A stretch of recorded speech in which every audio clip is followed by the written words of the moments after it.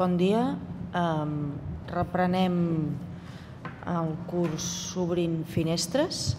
Avui ho fem amb el doctor Agustí Colomines, que és doctor en Història Contemporània i director acadèmic de la Càtedra Josep Termes a la Universitat de Barcelona. És l'investigador principal d'un grup que es diu GREMPOC, que és el grup de recerca en estudis nacionals i polítiques culturals, que forma part d'aquesta càtedra que us deia, i ha estat professor visitant a les universitats d'East Anglia i Boston.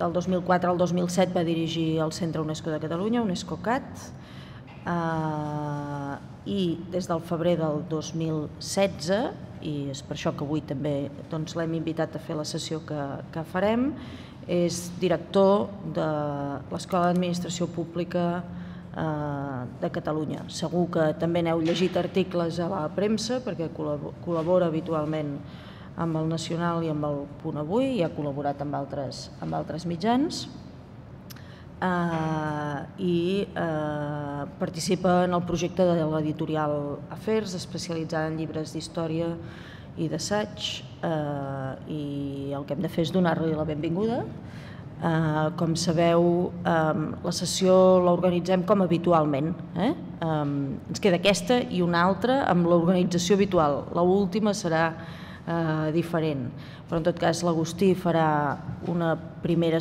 una primera introducció d'uns tres quarts d'hora avui sobre aquest tema de per què serveix l'administració pública, Uh, després anirem a treballar en grups i després farem la posada en comú aquí de les conclusions que hàgiu tret en els grups i farem els comentaris pertinents. Per tant, moltes gràcies, Agustí, i, i comencem. Bon dia a tothom, què tal? Uh, bueno, en primer lloc, només uh, dir-vos que aquest, uh, aquest curs precisament el vam pensar des de l'Escola d'Administració Pública de Catalunya en un sentit uh, diguéssim, d'intentar aportar una certa novetat per, no? a la manera de fer cursos o de plantejar cursos eh, des de l'escola i per això ho vam fer en, eh, en col·laboració amb, amb, les, amb el Parc d'Humanitats de la Universitat de Barcelona, que és, com veieu, aquest, que, que és com veieu aquestes, se sent ara, que és com es, aquestes instal·lacions magnífiques, no?, que abans eren, gràcies, que abans eren eh, eh, Barcelona Activa, eh, abans de convertir-se en el que és i abans que Barcelona Activa estigués una mica més, més enllà. També és veritat que les circumstàncies actuals del país han fet que, la, que aquest curs s'hagi vist tallat en la seva continuïtat perquè hem hagut de, de, no? o de suspendre sessions per culpa no? D'esdeveniments al marge del que, de la nostra voluntat, o hem hagut de substituir professors perquè estaven en una situació que no, que no podien fer-se càrrec. Jo mateix estic substituint a la, a la senyora Meritxell Masó, que és la secretària general, perquè en aquests moments doncs, està fent unes funcions que li, no, no li permeten eh, segurament prestar l'atenció. No? Bé, en total, que Esperem que amb el temps això es consolidi i, i que no hi hagin aquests eh, inconvenients. No? A mi, de totes maneres, m'ha tocat parlar d'una d'una cosa immensa, no? que és eh, el títol exacte que al final vam acabar posant és, eh, és per a què serveix l'administració eh, pública. No? Clar, això és una pregunta, eh, diguem-ne, eh, una mica així forta, no? En tot cas, el que podíem fer-nos la pregunta, més, ad més adequada probablement, és que avui l'administració pública compleix la missió per la qual va ser pensada en el seu dia, no? Ah, perquè l'administració pública, evidentment, com vostès deuen saber, i, i ara no em posaré a fer d'historiador, però per no? perquè ens entenguem, neix amb la construcció dels estats eh, contemporanis, no? en la qual es passa d'una situació de fidelitat de persona a persona, que és la típica eh, estructura jerarquitzada de l'època feudal, a una mm, administració eh, o una relació que ja no és d'una persona a una altra persona, sinó que és d'un individu constituït en forma de ciutadà amb un ens eh, superior regulador que és l'Estat i que aleshores aquest estat el que ha de garantir és l'equitat, no? la igualtat, eh, etc. No? Tot això que després, amb els principis establerts eh, amb la Revolució Francesa de 1789, doncs eh, s'extén d'una forma no? generalitzada arreu eh, del món. No? ho he dit eh, sumàriament, eh? vull dir, no, no, no, no em prenguin ara al peu de la lletra perquè és un resum, vaja, de, de, de, així, de, de pissarrí, no? Però això és important perquè, clar, en la relació antiga hi ha un, un element evident d'arbitrarietat per part de, uh, no, del senyor en relació al vassall, no? És a dir, sí que hi ha una relació, una certa relació contractual que té a veure especialment en termes de collita o en termes de camp o en termes de, no, de terreny, de territori, no sé què, no sé quantos, però sempre hi ha aquesta, aquest component arbitrari de l'individu no, que pren unes decisions no, que estan a l'albir no, del, seu, del seu pensament. Això, en teoria, en l'Estat i en l'aparició de l'administració, ha de desaparèixer, desapareix. Eh? existeix la necessitat de crear una estructura que asseguri aquest principi bàsic de que tots els individus seran tractats d'una forma eh, igual a través eh, d'una estructura basada en el servei públic. Ara parlem molt de servei públic, no? Abans parlàvem menys, parlàvem de funcionaris i tot això, no? Ara, fa, des de fa anys, no? parlem d'una manera més eh, adequada eh, per retratar exactament què és el, el servei públic. No? Però, quan neix l'administració, l'administració en el fons neix copiant els exèrcits. Mm? Una estructura vertical, una estructura molt jerarquitzada, una estructura, com vostès veuen cada dia, tot s'ha de dir, eh? amb un munt no? de categories no? que a l'administració nostra es tradueixen en lletres i números, no? que si hi ha 30, que si ve no sé què, que si ve no sé quantos, etc etc. no? És a dir, però és molt estructurat. Eh? I per tant és una, eh, una estructura, com deia, vertical, que el que provoca és que hi hagi una dependència de, de baix a dalt, no? no que inspiri de baix a dalt, sinó que hi ha una dependència de baix a dalt en el qual el vèrtex eh, superior és el que normalment mana, per dir-ho així, i emana eh, en el conjunt de l'administració, doncs les directrius, etc etc. Això té, a més a més, eh, una, un inconvenient, bueno, té un avantatge, o durant molt de temps va tenir un avantatge, que és la fortalesa que va donar a les administracions en relació a qualsevol no, penetració externa que eh, volgués eh, influir en la presa de decisions eh, de l'administració. Eh? A la llarga, com s'ha pogut veure, té un inconvenient, que és la poca permeabilitat no? que aquesta estructura jeràrquica eh, provoca o permet no? en el conjunt eh, de l'administració. La, I a més, fins i tot, a vegades, el que produeix és segments, estancs, no? que fa eh? que diguem la mà dreta, per dir-ho així, no sàpiga què fa la mà esquerra. Eh? i eh, ens puguem trobar en situacions a vegades una mica estranyes, contradictòries, no? opaques, no? que creen que creen zones, precisament, eh, grises, no? que a la llarga s'ha vist que ha permès o que són eh, les vies de penetració de tot el que després corca la, la mateixa administració. No? Més o menys aquesta estructura és igual, eh? és la catalana, l'espanyola, la francesa, la, no? Uh, bueno, a tot el món més o menys uh, funciona d'aquesta manera uh, perquè és el model alemany, per dir-ho així, que és el que, uh, que, és el que um, diguéssim, es difon a tot arreu, uh, es manté més o menys fins als nostres dies, mm? fins al dia d'avui, vaja. Mm? Però la societat exactament no ha, no, no ha evolucionat exactament de la mateixa manera.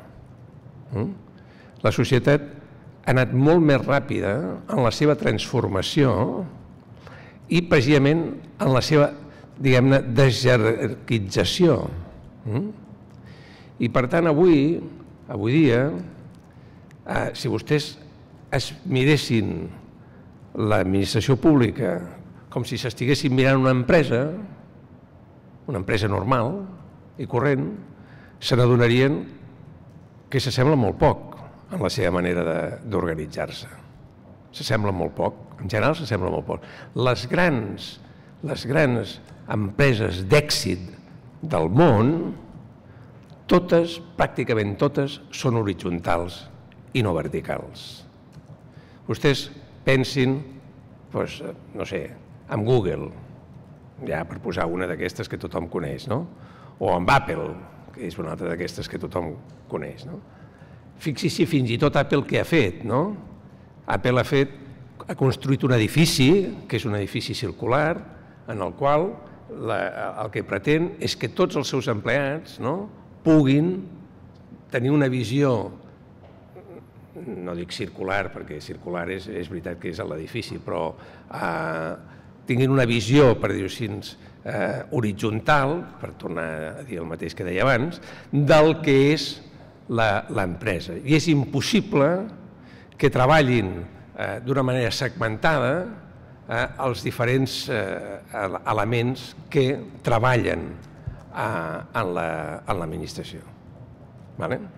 Per tant, aquest primer, aquesta primera qüestió ens porta a una gran qüestió que és la que eh, es veu obligat o s'hauria de veure obligat a plantejar-se l'administració, que és el problema de la governança de l'administració. Com s'ha no? com s'ha d'organitzar, eh? no només en el seu sentit directiu, en el seu sentit, no? sinó de, de veure com s'ha de regir eh, la governança. És veritat que les urgències dels últims anys, la proliferació de la corrupció arreu, especialment no? a Espanya i també a Catalunya i tot plegat, ens ha fet focalitzar la idea que els problemes de l'administració se, se solucionen amb la transparència o se solucionen amb la difusió dels codis ètics, no? coses que crec que s'han discutit eh, aquí, no? però eh, aquest no és un plantejament eh, real a l'hora de, de treballar el que és la governança. Això és un efecte de la governança, però no és eh, el principi eh, rector. El principi rector és el, bàsicament seria el d'eficiència. No? Aquest és el primer. I el, i, i, bueno, el primer del primer és exactament saber per què serveix l'administració pública. I aleshores aquí sí que anem a la pregunta que ens fèiem al, al principi. Per a què l'administració pública? Eh? És a dir, la provisió de llocs de treball ve determinada o hauria de venir determinada, els faig aquesta pregunta que ja sé que és provocativa, però ho la faig perquè estem en un curs i els cursos, si no es provoca, no serveixen per res. No? La provisió de les places s'han de fer des de la perspectiva sindical o s'han de fer des de la perspectiva del servei públic? Això és una pregunta que cal resoldre, perquè jo cada dia veig, per exemple, a l'Escola d'Administració Pública, que és una batalla que fa temps que lliurem, no? que és que la gent es pensa que la formació és un dret individual de cadascun dels treballadors públics, i això no és veritat. Això és una part, en tot cas, de la qüestió. Però l'organització té un deure de, amb el ciutadà de formar els seus servidors públics perquè siguin el suficientment eficients per complir el servei públic que volen. Per tant, ha d'haver-hi un doble, no? una doble eh, perspectiva que permeti la preservació del dret individual, per tant, si voleu dir-ho així, sindical, d'accedir a una cosa, al mateix temps que l'organització planifica exactament què és el que vol i què necessita per ser eficient en el seu eh, servei públic. Eh? Per tant, primera qüestió, eh, que és avui a què dona servei, per, què dona servei o en quin sentit dona servei eh, l'administració eh, a, al, al, al, al ciutadà. No? Com que l'Anna ho sap perquè treballa amb mi i per tant portem dos anys donant-li voltes a la mateixa, a la mateixa qüestió. Quan jo vaig arribar a l'Escola d'Administració Pública, em van eh, demanar que replantegés l'Escola d'Administració Pública. No? És a dir, què havia de ser l'Escola d'Administració Pública en relació al, no? al, al sistema. Si tu agafes l'Escola d'Administració Pública, té 70 treballadors. Vale? Si tu agafes les RLTs dels 70 treballadors de l'Escola d'Administració Pública, te n'adones que dibuixa una manera d'entendre l'escola d'administració pública, perquè hi predominen els administratius, els subalterns, no? i els, eh, com se diu això, i en menys mesura els tècnics. Si tu tens una radiografia de treballador de l'Escola d'Administració Pública com aquesta, a què es dedica l'Escola d'Administració Pública? Jo, jo ho sé a què es dedica l'Escola d'Administració Pública, però a què es dedica bàsicament? A tramitar cursos. Però si tu vols que l'Escola d'Administració Pública, en comptes de tramitar cursos, el que faci és idear-los, no? pensar-los i, a més a més, gestionar-los, necessites un tipus de servidor públic no? diferent. Això és una evidència. I, per tant, has de canviar les proporcions. Etc. Per tant, el més important, d'entrada, no és la mera organització del, dels serveis no? o de la pròpia administració, sinó que és pensar exactament per què vols l'administració. Mm? Tots els governants que es precien de ser-ho de veritat, fins i tot el més imbècil del món, que tothom ara diu que és el Trump, no? Eh? Ah, que no és tan imbècil com diuen, eh? però mm, el que és és un, diguem-ne, un malcarat, és un, és un maleducat i tot el que vosaltres vulgueu, però sap el que vol. Pots no compartir-ho, però sap el que vol. La primera cosa que va fer quan va arribar a l'administració nord-americana, la primera, eh? és intentar reduir l'administració pública. Per què ho va fer? Perquè tradueix el seu pensament. Ell diu, no, no, l'administració pública ha de ser una cosa molt petita, no? i bàsicament el que cal és que el món lliure, ell diria, a mi em sembla una exageració, però el, el món lliure ja regularà. Si tu, en canvi, no? fas com es va fer aquí, perquè això també és una radiografia, de dir, no, no, no, no, aquí el més important és tenir una administració en la qual hi hagi un hospital comarcal a cada comarca, capital de comarca del país, un CAP a cada cantonada i un eh, institut d'educació secundària també a cada cantonada, com aquell que diu. Això té un cost. Té un cost i un cost de gestió i uns individus que ho han de fer. això es tradueix a com entens l'administració. I, per exemple, en el cas de la Generalitat, que és una obvietat, tothom ho sap, no? el pes més gran de l'administració de la Generalitat és ensenyament i sanitat. No? I això també ve determinat en què el pes més gran del que és l'administració de la Generalitat i el seu sector públic és justament sanitat i eh, ensenyament. Aleshores, tu pots organitzar de moltes maneres, això. Ho pots organitzar creant un cos de treballadors públics que siguin directament dependents de tu, o ho pots fer agafant, com en el cas de sanitat és més que obvi, no? això que en diuen el sector públic. No? El sector públic, en teoria, no són funcionaris, són treballadors eh, eh, públics, no? però tenen una altra missió com també tenen un altre règim i uns altres drets i unes altres, unes altres històries. No? Vale? Però ja dic, el primer, i, i abans de qualsevol cosa, el primer que has de decidir és exactament què és el que vols amb l'administració. Petita, gran, de persones que vagin i vinguin, es moguin, horitzontal, no horitzontal, no? I a partir d'aquí tu vas desgranant una manera de percebre i concebre la governança de l'administració pública. Com avui es promociona a la Generalitat de Catalunya? Això ho sabeu tots. Com es promociona avui la Generalitat de Catalunya? Doncs pues agafes Atri, no? Veus un lloc de treball i et tires allà com un loco, no? I a veure si ho aconsegueixes. Vale? Això què comporta? Pues en dos anys, per exemple, a l'Escola d'Administració Pública deuen haver passat un mínim de 15 persones. Perquè tothom va buscant no? el seu, eh? el seu itinerari, no? passen, entren, surten, pam, pam, no? i crea una inestabilitat al·lucinant, això. Que la gent té dret?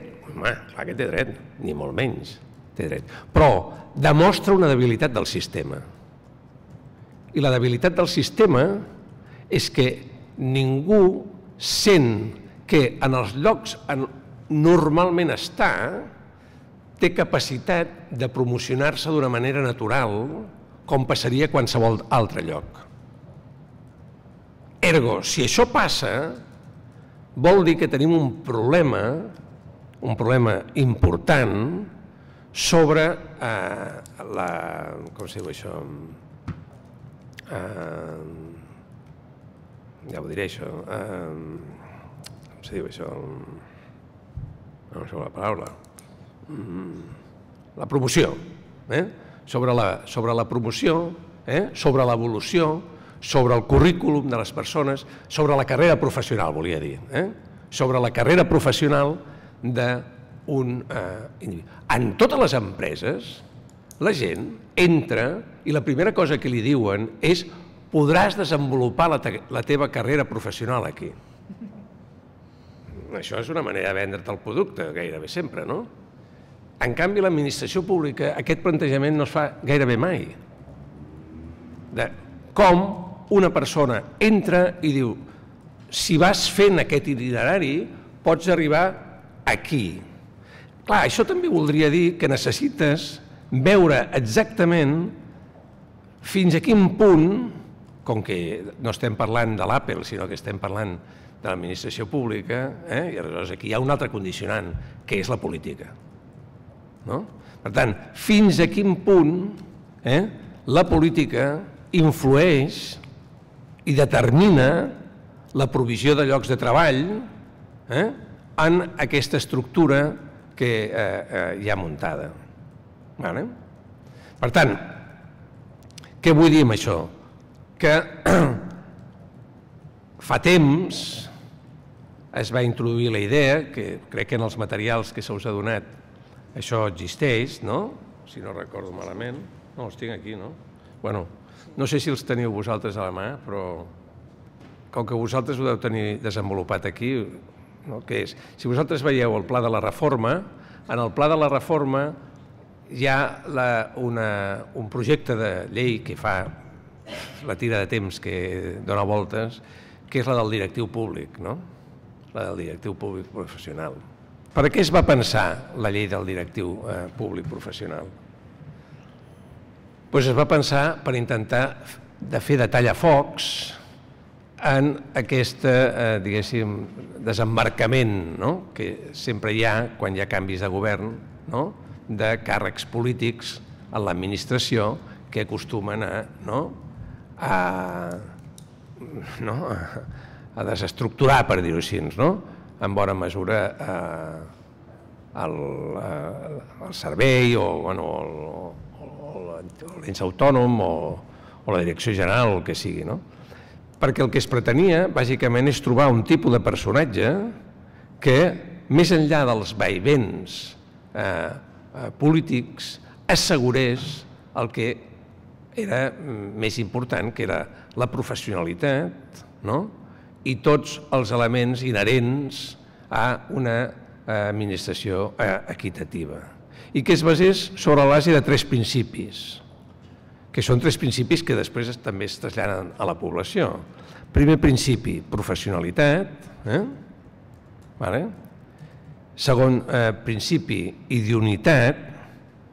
Això és important, perquè professionalitat és, eh, tu ets, eh, jo què sé, no? Eh, eh, pues això, no? llicenciat, jo que sé, doctor, no sé què, no sé quantos, és una persona no? eh, que està en condicions per ocupar el lloc, no? Eh, I l'altre és que siguis idoni per ocupar el lloc, no?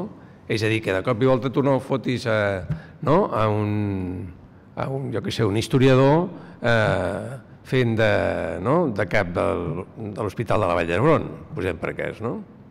perquè, home, no sé si és molt idoni, no? És a dir, mm, hauríem de veure exactament eh, fins a quin punt eh, ho, ho seria. No dic que no pogués passar, eh, però s'ha de veure exactament. No? Per tant, segon principi és el d'idionitat i tercer principi és el de confiança. Vosaltres direu, home, el de confiança ja acabes d'introduir un concepte subjectiu, per dir-ho així, no? però també és necessari el concepte subjectiu en aquest cas, perquè tampoc pots arribar a la conclusió de que tots els directius públics no? eh, siguin persones que no siguin de confiança dels polítics que arriben i tenen dret a intentar aplicar el seu programa eh, polític, perquè això és la democràcia. Mm? Això, que l'únic país del món que s'ha posat en marxa és Xile, no? aquesta estructura del directiu públic professional està més o menys basada en això. Estan en fase, diguem-ne, d'avaluació de, de, com està funcionant això, no? però en bona mesura eh, en fan un balanç eh, prou positiu eh, de, la, de la qüestió. La confiança i, és, i també és un altre dels, dels, eh, dels documents que teniu aquí, és un dels aspectes que toca eh, el document de la professora Ada Ferrer Carbonell, no? quan diu eh, felicitat ciutadana, la rellevància de la qualitat democràtica i la confiança institucional. Això és un principi importantíssim en la gestió pública la gran majoria de la gent tendeix a no confiar en l'administració pública, recela de l'administració pública. I la pregunta que un, un s'ha de fer és per què la gent recela de l'administració pública. Perquè la gent és perversa per naturalesa? Home, sí, bueno, en general la gent no és que sigui molt... eh, té un, diguem-ne, un, eh, una certa tendència sempre a fer a criticar el veí, per entendre'ns, no? Però també és producte d'una administració espanyola, en aquest cas tradicionalment espanyola, del Huelva este mañana, no? que ha fet que la gent digui l'administració no em resol els problemes, me'n crea, me'n crea més. Mm? Però si I a més a més l'administració li posa fàcil perquè la gent receli. Eh? Per què li posa fàcil? Precisament per això, perquè la principal acusació de la gent no és en el funcionari concret o en el servidor públic concret. La gran acusació sempre és la politització de les administracions. Està, això està controlat pels partits polítics, això no sé què, no? tot aquest tipus de, de, no? d'acusacions, algunes vegades són certes, no hi ha cap mena de dubte, no? però la gent acusa d'això. Per tant, has de buscar un sistema organitzatiu que et permeti no? allunyar-te al màxim eh, possible no? d'aquest tipus d'acusacions. El 2010, si no recordo malament, es va aprovar en el, pel govern de la Generalitat però com. Eh, el 2010 es va aprovar? Ara no me'n recordo. No, no me'n recordo d'això. Bueno, no, no, no, no, no sé si és el 2010, però jo sé que... Però és que ara no em quadra, perquè si és el 2010 no sé per què no es va desenvolupar. Uh, Sé que es va aprovar pel comitè eh, executiu de la Generalitat i aleshores va decaure perquè la llei no va poder passar al Parlament perquè va caure el govern, però això no podia ser el 2010, és a dir que el 2012 devia ser, el 2012 devia ser. No? En conseqüència, és una, no? és una, una llei que està allà aparcada, que és un, com una mena de punt de referència, però de la qual ningú en sap res. Mm? Ni ningú reprèn, a més a més. Eh? però que tothom reivindica. Digue'm. Sí, es pot... Jo crec que sí, eh? Que jo, jo la tinc aquí, espera un moment. Ara us ho dic jo, perquè en el pla de reforma de la... De la...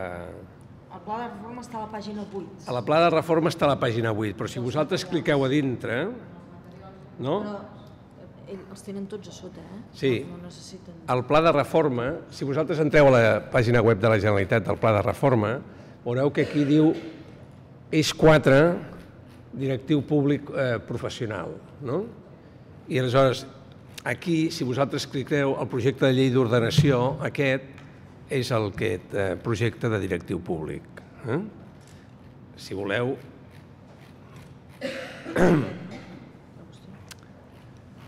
Sí. Aquest és... Eh, això és el directiu públic, no? Sí.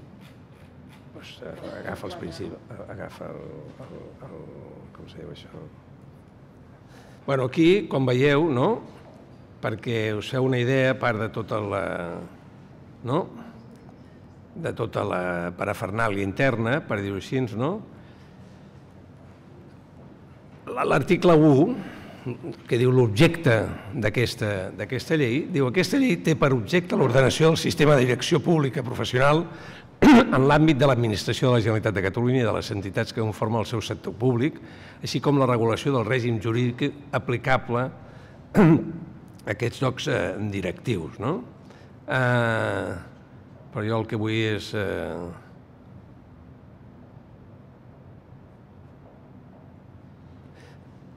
l'accés, eh? que és el 3, diu l'accés a llocs que conformen el sistema de direcció pública professional exigeix superar prèviament a la designació discrecional processos selectius basats en els principis de transparència, publicitat, lliure concurrència, idoneïtat, mèrit i capacitat i així mateix acreditar la competència professional requerides pel, pel correcte exercici del lloc eh, directiu. Mm? Per tant, és una mica al revés. La discrecionalitat és l'últim no? l'últim dels, eh, dels elements a tenir eh, en compte. No? Nosaltres, amb aquests dos anys també, hem fet una nova llei de l'Escola d'Administració Pública, que no hem pogut passar al Parlament per les circumstàncies polítiques eh, actuals, no? i una de les eh, coses que nosaltres eh, vam, vam plantejar era un canvi en el nomenament del director o director de l'escola. Mireu, sabeu per què? Perquè a simple vista, només quan caus allà, veus que en 30 anys l'escola ha tingut, en 30 anys, eh, 16 directors o directores. Mare de Déu. Eh? si he tingut 16 directors o directores, vol dir que alguns hi han passat 3 mesos, com aquell que diu, no? Perquè n'hi ha dos, que si han, un s'hi ha passat 7 anys i l'altre 5, per tant, la resta vol dir que... I quan nosaltres vam plantejar això, me'n recordo que jo, quan ho vaig plantejar, em diuen, vaig plantejar la reforma de l'elecció del director o directora de l'escola, me'n recordo que la consellera em va, em va dir, diu, caram, hosti, si, si, fa, si fas aquesta reforma no, no t'hauria pogut nomenar ni a tu, no? I jo li vaig dir, és que és precisament això per la que faig aquesta reforma. Perquè independentment de que jo em senti més o menys idoni per ser eh, director de l'Escola d'Administració Pública de Catalunya, no? el que no podem és eh, llançar-ho als daus, això, i a la sort de que un tio sigui idoni eh, per dirigir una escola. Hem de regular d'una manera concreta no? això. Per què? Perquè, tornem al que dèiem al principi, com consideres tu la formació en el conjunt de la teva organització? I si tu consideres la formació com una peça capdalt en l'engranatge de la teva organització, significa que has d'estabilitzar l'organisme que regula aquesta formació. I per estabilitzar-lo li has de donar una governança que sigui més, dura, més duradora que una simple eh, mm, legislatura, per exemple. És una proposta d'un professional o una professional que eh, tingui eh, uns anys d'experiència eh, universitària o en àmbits eh, educatius, que, eh, com se això, que sigui, eh, que tingui, com a mínim tingui 10 anys d'experiència, si no recordo malament, que a més a més hagi treballat en el sector públic, eh, no, no fa falta que sigui funcionari, eh, sinó que hagi treballat en el sector, en el sector públic. Eh, tercer, que eh, que tingui... Va, no me'n recordo. Era una, la veritat és que no me'n recordo de totes les condicions, però aquesta, dues que acabo de dir, segur. Eh? I després que en el conseller o consellera se li presenten tres noms. I d'aquests tres noms en pot escollir un. Vale? I si no, pot, si no cap dels tres li pogués interessar, només se li poden presentar tres noms més i si no, aleshores, adiós, muy buenas. Eh? Però, i aleshores aquí sí que en aquests tres noms, doncs, evidentment, la tercera, la tercera condició, que és la de confiança, doncs això ja és un problema de la, de la persona que de la, el designa. No? I eh, aquest em resulta, li tinc més confiança o, no? o em resulta més el que sigui. No? Vale? D'altra banda, tampoc és una grandíssima novetat això, eh? perquè en el Consell, eh, en, el, eh, en la Comissió Jurídica Assessora de la Generalitat de Catalunya, això ja, en teoria, funciona així. Mm? És a dir, ja funciona amb aquests, amb aquests termes no? d'intentar superar això. Amb el síndic de greuges també, eh, en teoria, funciona d'aquesta manera. És a dir, no, no és una novetat, eh? això no és una grandíssima, però sí seria una gran novetat si això ho estenguessis en el conjunt de tot el sistema. Això sí que seria una grandíssima novetat. Eh? Perquè estaries fent un tipus de personatge que veiem molt a les pel·lícules i ens agrada molt, que és el del sí ministre. M'enteneu? El del sí ministre és aquest tipus de personatge. No? encara que ell se n'en foti després dels, del, dels polítics, no? i que els hi digui allò que els hi diu, no? vostè, ja, vostè ja pot passar, que jo continuaré aquí, no? perquè jo sóc el servidor públic, no? que asseguro eh, que la màquina funcioni, cosa que és veritat, com tothom sap, perquè fins i tot ara, amb l'aplicació del 155, que és un desastre monumental, no? eh? Ah, i amb aquesta colonització de l'administració tan bèstia que està fent no? l'administració espanyola, no? qui està assegurant avui que això no sigui un desastre manicomial són els treballadors públics i els seus directius. Això és així, perquè polítics en aquests moments n'hi ha molt pocs. Mm? Perquè estan tots eh, no? O cessats o sota les pedres. no? o a l'exili. Eh? Per tant, eh, com, com apoderar aquesta administració no? és la gran eh, pregunta que un eh, s'ha de fer. No? Bé, dèiem que aquesta és una, és una part, però com dirien els sindicats, i, té tot, i tindrien tota la raó del món, diri, dirien, home, però ara estàs parlant de la part directiva i sempre us dediqueu a la part directiva, mai us dediqueu a la part no? eh, de la tropa, per dir-ho així. No? En, en la, diguéssim, la part de la tropa, jo crec que ha de regir, no, no jo ho crec, eh? ho creu pràcticament tothom, que ha de regir el mateix principi, mm? que és els mateixos eh, principis que són aquests que dèiem de professionalitat i d'ionitat, però aquí el de confiança ja no és estrictament necessari, eh? perquè estem parlant de persones més tècniques eh? i que eh, bàsicament accedeixen als llocs eh, de treball sobre la base de la, de la capacitat i el mèrit. No? La pregunta és, això realment és veritat en l'administració pública? Doncs la percepció que té és que no. Però si vosaltres aneu a funció pública, us diran que han fet canvis suficients perquè això pugui anar cap aquí. No? En quin sentit s'han fet aquests canvis? Doncs bàsicament amb els processos selectius. Com es fan els processos selectius eh, avui dia? Pues es fan, a banda de que un presenti no, la sol·licitud, en teoria es fan, s'han introduït les entrevistes no? eh, per competències, no? intentant veure exactament si aquella persona és la persona més idònia per ocupar un lloc de treball. No? Vosaltres podeu pensar que això és eh, subjectiu relativament, Eh? Perquè la compensació no? del, del, del mèrit, la capacitat de la persona amb l'avaluació no?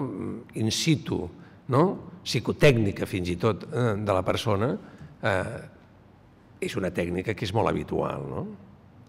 Però una vegada s'ha fet això, aquest és el gran problema que té l'administració pública, que no acaba de definir, com he dit al principi, quina és la carrera professional d'aquella persona que entra en un lloc determinat. És a dir, algú pot entrar com a tècnic de la Generalitat i acabar sent subdirector de la Generalitat de Catalunya? Així, per carrera, vull dir, eh? per pujant des de baix fins a dalt. Sí, però no. Un percentatge molt baix, justet, molt baix. I, I això és el que no té cap mena de sentit. Però un s'ha de xupar un subdirector o subdirectora, li agradi o no li agradi? Això també passa. I això no té cap sentit. Perquè vol dir que no serà eficient el servei de cap de les maneres, perquè si hi ha un, no? no hi ha una entesa ben clara entre els directius, allò serà un desastre bastant monumental. No? Aleshores, com hem d'entendre la mobilitat dins l'administració? Què hem de fer perquè la mobilitat no sigui un càstig en l'administració? Perquè avui dia la mobilitat, la que no és feta per un individualment, eh, que, que es mou perquè se'n vol anar a un servei o un altre o tria el que vol, no? en general està percebuda com, una, no? com un càstig. Em degraden, no? m'envien a l'ostracisme, no sé què, no? etc eh, etc. Per tant, ha d'haver-hi alguna manera diferent, s'ha de pensar una manera diferent perquè hi hagi una eh, mobilitat interna i que permeti que la gent, que hi hagi una bossa de gent als quals els directius puguin recórrer no? per poder intercanviar fàcilment, no? de dir, bueno, mira, aquell li puc fer una oferta, per dir-ho així, que no vol dir econòmica, eh? sinó una oferta de treball, diguéssim, en aquella persona que està a no se sap on, no?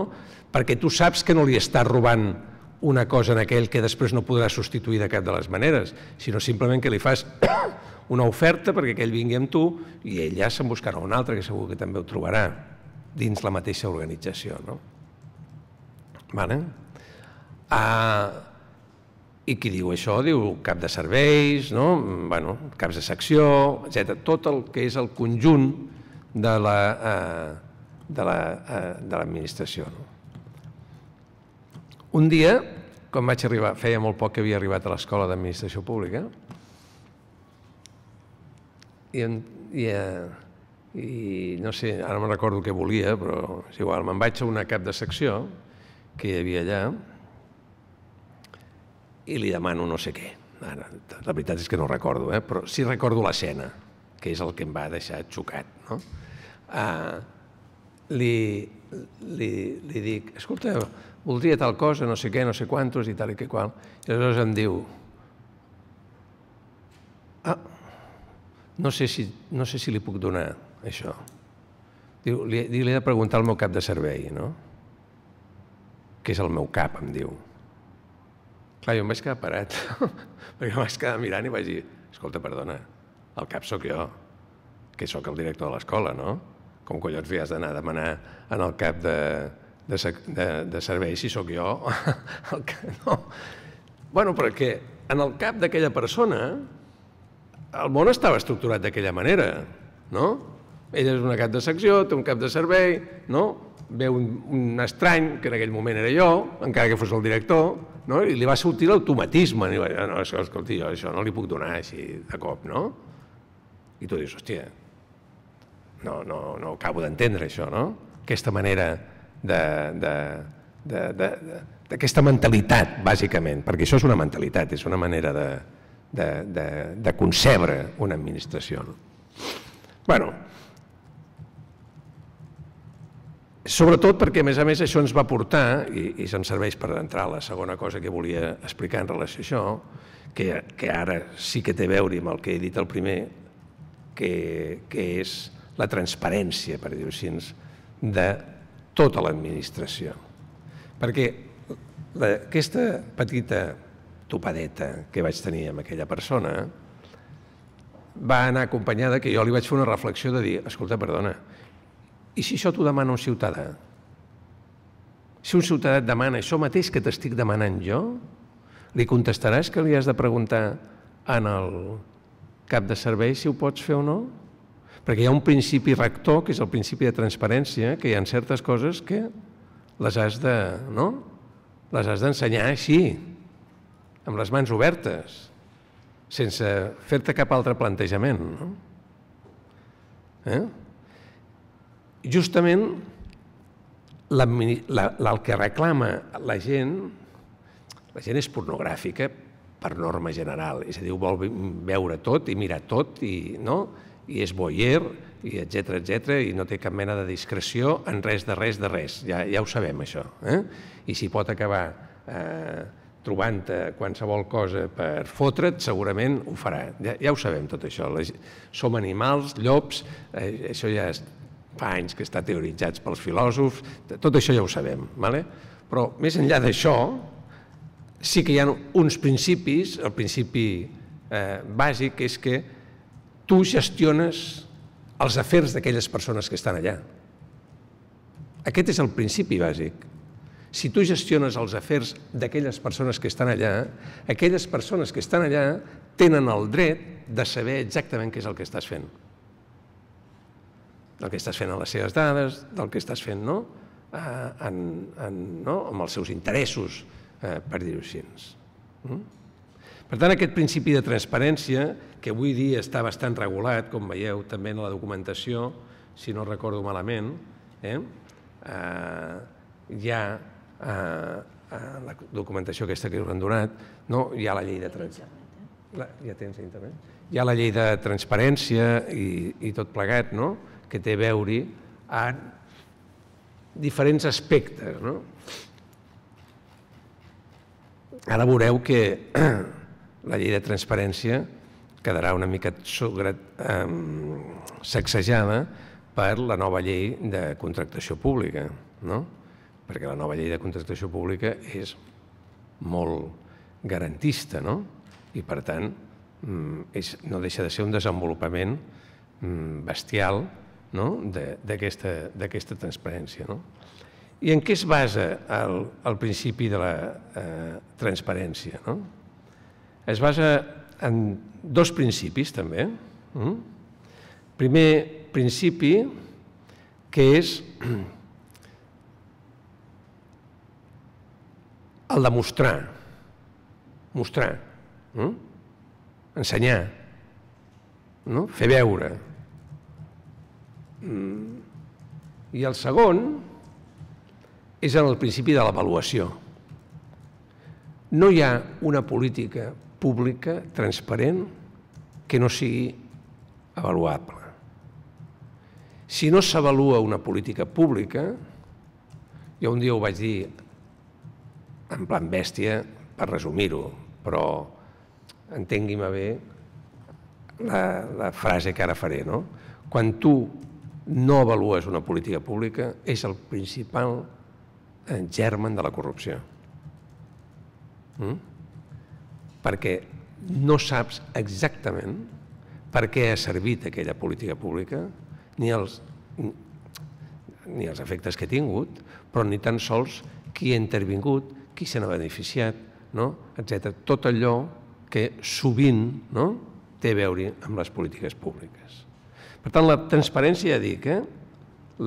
és molt important la idea d'avaluació de les polítiques públiques per tal de no, ordenar el que és eh, eh el, no, les, el sector eh, eh, públic eh, en general, tant si és eh, de funcionaris com, com si no. no?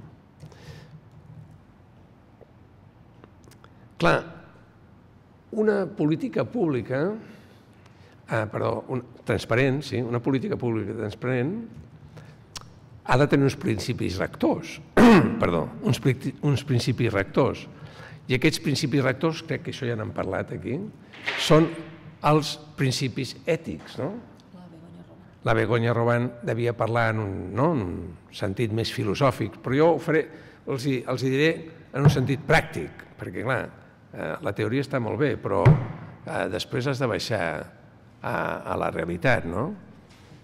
I què és una política ètica, no? En què consisteix eh, que un individu sigui, es comporti èticament com a servidor públic? Mm?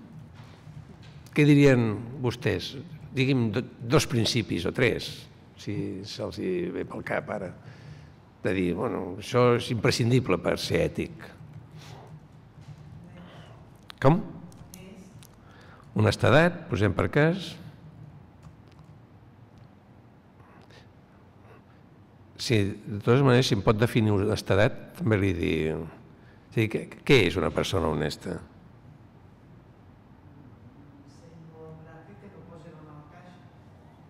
Vale. Vale, per tant, la corrupció, per dir-ho així, no? que no siguin corruptes, que siguin, no? que siguin persones... Eh? Per tant, però mirem com estem condicionats una mica per l'ambient, eh? perquè l'ambient, l'única cosa que pensa és en això, diguéssim, no? si fots la mala... Però quants funcionaris vostès han trobat que els han condemnat per això? Polítics molts, eh? però funcionaris quants?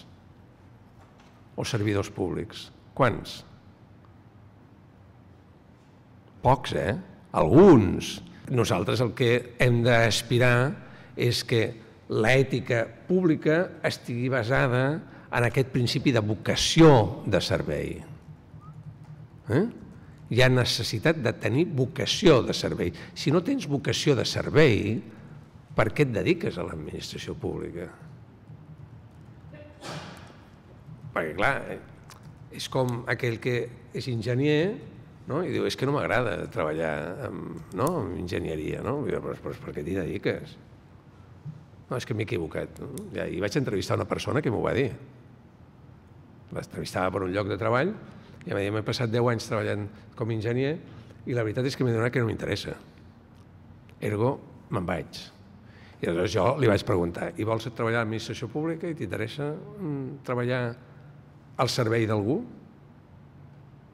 Perquè aquesta és la pel·lícula, no? I aleshores me'n recordo perquè la persona en qüestió em va dir mira, quan era més jove havia treballat com a, a com se diu això, a, recepcionista d'un hotel. I me'n vaig adonar, i me n'he donat, diu, amb el temps, que el que m'agrada és aquest contacte amb la gent. M'agrada aquesta, no? I, tu dius, què té a veure un servidor públic amb un eh, recepcionista d'hotel? No, com a lloc de feina cap ni una. Però com a filosofia, sí, alguna proximitat té, no? Perquè són persones que treballen, no?, amb un públic eh, molt concret, no?, que es veuen obligats, no? Nosaltres vam fer un procés de selecció, per exemple, la persona del registre, te'n recordes? De, la persona del registre, que se suposa que normalment a tot arreu és l'últim mono, eh? és la, la primera cara que tenim a l'escola. La primera, exactament la primera cara que tenim a l'escola. Perquè està a la porta, a més a més. Llavors, per mi era molt important que la persona de registre fos una persona que mm, complís uns, eh, no? uns estàndards perquè deixés l'escola en pavelló molt alt, no? que tothom entrés allà i fotés el registre i digués, hòstia, joder, aquesta escola no n'hi do, no? Eh? a més a més una persona amable, eficient, que facilita les coses, etc etc. no? Vale? Per tant, aquest principi no?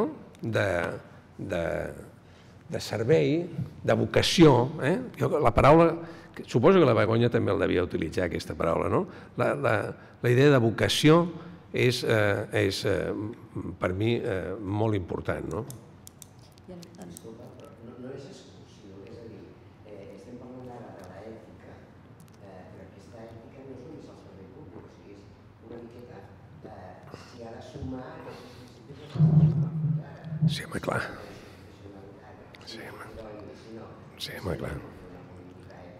Sí, sí.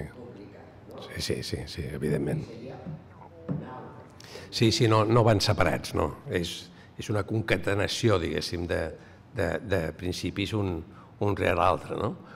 Com, per exemple, la política de recursos humans, perquè una vegada has dit, bueno, està molt bé la vocació, però la vocació no és un passaport a l'eternitat, per dir-ho així no? I per tant, vol dir que tu has d'introduir eh, mètodes d'avaluació de, la, de la vocació, per dir-ho així, no? que és aquest, eh, aquesta nova no? forma d'avaluació de l'acompliment que es tira endavant de, des de funció pública i de la qual doncs, eh, s'estan fent els primers programes pilot, no?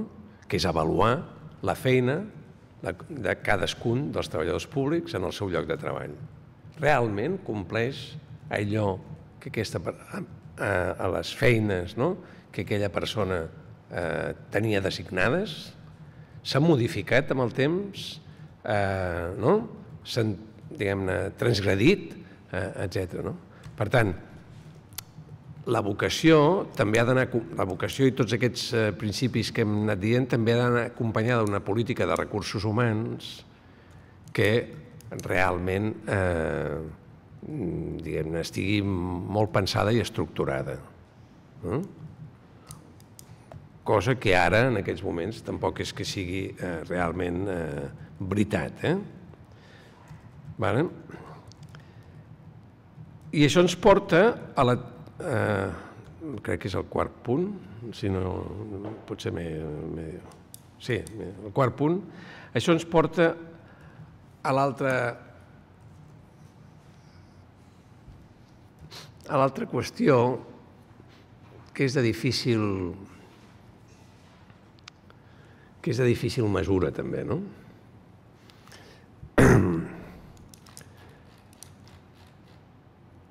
Com es mesura el talent en una organització. Com es mesura aquest talent? I per tant, com es pot aprofitar aquest talent en una organització com pública? Tothom té una certa, no? una certa gràfica d'evolució professional al llarg del temps. No? Un comença fent alguna cosa, segurament es va especialitzant i tal i que qual, i a lo millor arriba un punt que diu qui és el millor especialista que tenim a la Generalitat de Catalunya sobre dades digitals? El coneixeu? O la coneixeu? A la persona en qüestió? Jo no, eh? Però segur que existeix, eh? N'estic convençudíssim. O qui és la persona més especialista en sistema carcerari de la Generalitat de Catalunya? Ni punyetera idea, però segur que existeix. I així anar fent, no? Llavors, aquestes persones, no?, que són una mena de talps, no?, que normalment corren per l'administració, ten tenim un problema perquè no sabem què fer-ne. Bueno, primer no sabem detectar-ho. Aquesta és la primera, no sabem detectar exactament on tenim el talent. I la segona qüestió és que quan el detectem no sabem què fer-ne. Perquè, i aleshores tornem al principi de tot el que hem estat dient, l'estructura és tan rígida que no et permet fer grans moviments. Perquè si ara, per exemple, tu intentes fer coherent l'escola d'administració pública en relació al que us he dit abans, què hauria de fer? Pues començar a recaptar tècnics no? amb unes característiques molt determinades cap a l'escola d'administració, però perquè això pugui fer-ho, quants anys trigaré? Quants anys trigaré poder fer això amb el sistema que eh, actualment tenim? Doncs pues la tira. La tira. Trigaré la tira. Això no és competitiu en relació al que passa al carrer. No? I aleshores què ha acabat passant? Que l'escola d'administració pública eh? per posar aquest exemple perquè és el que conec més, eh? que l'Escola d'Administració Pública ha privatitzat els seus serveis. I aleshores aquí ja tenim un problema de sector eh? públic i sector privat. Jo no és que estigui en contra del sector privat, però estic en contra, el que sí que estic en contra és de malvendre eh, el coneixement públic al privat. I tornem el que dèiem al principi, té a veure amb el model d'administració que tu vulguis tenir. Poso un exemple, Colòmbia, que tant la senyora Mònica Sabata com jo coneixem molt bé perquè hi hem treballat anys, no? I, i hem tingut molta relació, no? L'Escola d'Administració Pública de, de Colòmbia és una facultat i un entra, comença i fa el grau, i després fa els màsters, s'especialitza i després normalment entra a l'administració pública. Aquí això és així. Aquí tenim graus d'administració pública en totes les universitats del país. No? I els màsters en totes les administracions del país. I els millors màsters en les dues universitats privades del país. Això és un model, eh? Això és un model. Desenganyis. És una manera de concebre les coses. I el que has de fer, des del meu punt de vista, és recuperar allò que forma part o ha de ser part absoluta del, eh, no? del sector públic. Bueno, jo crec que aquests eh, petits, eh, no? aquesta petita radiografia que els he intentat eh, fer, no? els pot servir per intentar treballar ara durant una estona. No? Eh, jo els aconsellaria que desenvolupessin alguna de, de, no? dels aspectes, perquè tots suposo que deuen ser molt, complicats de ficar-s'hi, no? Els que ja han treballat no fa falta que ja li donin més voltes, perquè si han treballat l'ètica i la transparència, doncs, no, no falta que donin més voltes, però sí que el, jo crec que el tema organi or, organitzacional, diguéssim, no? o, o la qüestió de, del valor públic, de la vocació, de, no? del talent i aquest tipus de coses, del directiu, no? de, la, de la carrera acadèmica i de la carrera professional, no? etc. Jo crec que aquests principis doncs, estarien bé que, que donessin unes quantes voltes, no? perquè també, també són vostès part de l'organització, tenen la seva experiència i, no? i poden aportar bastant en, la, no? en, el, en el debat que en definitiva eh, no és només un debat català, però que a Catalunya preocupa moltíssim i més en les circumstàncies polítiques actuals. Vale, doncs molt bé. Molt bé, doncs moltíssimes gràcies, Agustí Colomines. Um, ara prendrem uns minuts per fer un cafè uh, i aleshores anirem als grups. No sé si hi ha algú que ha de marxar durant l'estona dels grups, em deia l'Anna. Uh, bueno, farem tres que seran més petits, però així ens donarà com per dues persones que marxen, tres que marxen, doncs farem dos grups, ara canvio els paperets i durant el cafè us donaré els paperets perquè trieu, però avui en lloc de fer tres grups en farem dos. Eh, pels que marxeu ara, recordeu que la propera sessió, aquella que va de la coherència entre el pensament polític i el servei que fem des de l'administració pública, és el dia 1 de desembre amb el professor Quim Bruguer, que està a la Universitat de Girona, de 9 a 12. I l última sessió, a la que us encoratjaríem molt a venir, és una sessió que farem treball de grup eh, tota l'estona amb, eh, amb una tècnica concreta que ha desenvolupat molt bé una professora de la Universitat de Barcelona, la Núria Serrat. Eh, no tindrem ponent, farem treball de grup durant tota l'estona i vosaltres mateixos aneu, anireu construint totes les conclusions sobre aquest curs que hem fet. Aquesta sessió serà el 5 de desembre de 9 a 12. Eh? Fets aquests recordatoris.